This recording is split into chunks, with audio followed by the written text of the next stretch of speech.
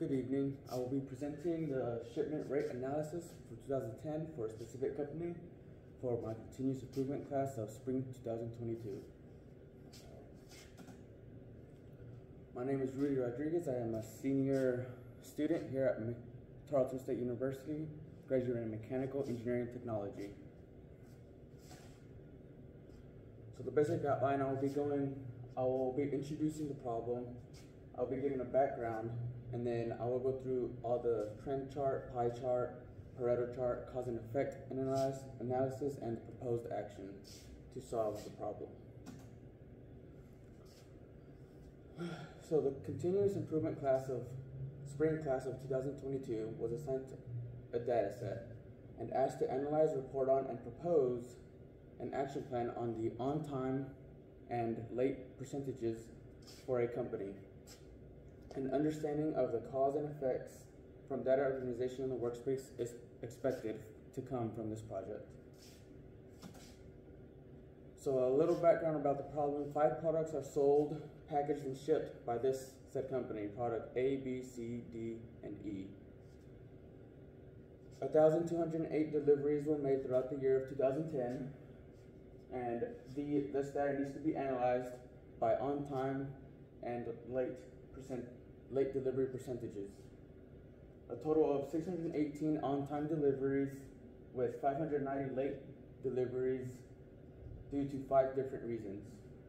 Data, the, this data is then separated into monthly deliveries and then analyzed more deeply. And based on the just the overall data from the whole year, there is an average of on-time to late percentages of 51.3%. So for our trend chart, I, here you can see for each month, January, February, March, April, May, all the way to December, for the year 2010, that the, the trend line for the on-time to late percentages fluctuate around 50%, which gives us an average of 51.3%, but during the month of May, we have the lowest of 41.8%, and in March, the highest of 55.6%.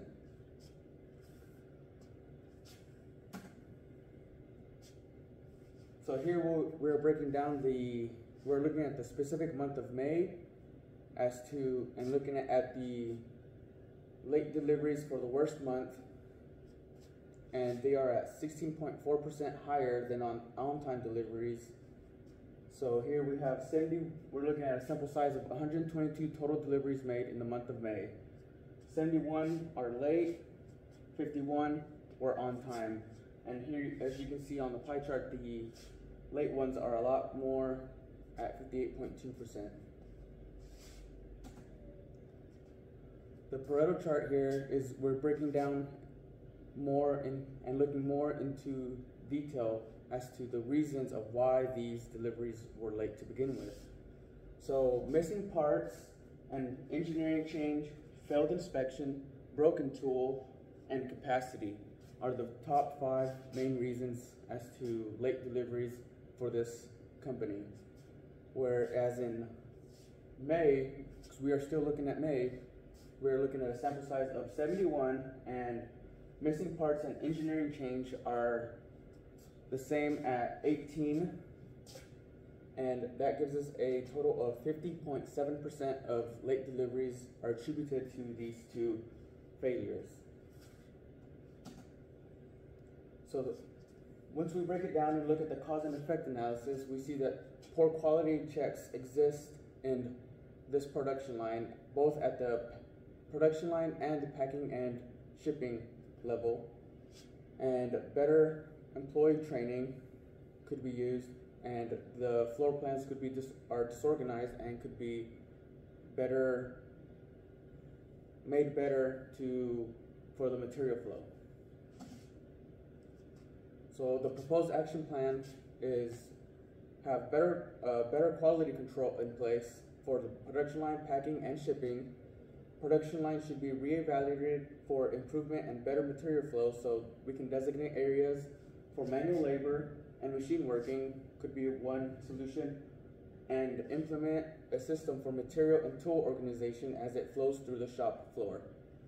and then an update to the training software, or just a re retraining for some of the employees, so because machines change over time. So just retraining them, or just kind of give them a little refresher course, as well as machine programming changes throughout time too. So update the training software for efficient parts handling and machine programming, and that way everyone knows what to do and how to do it.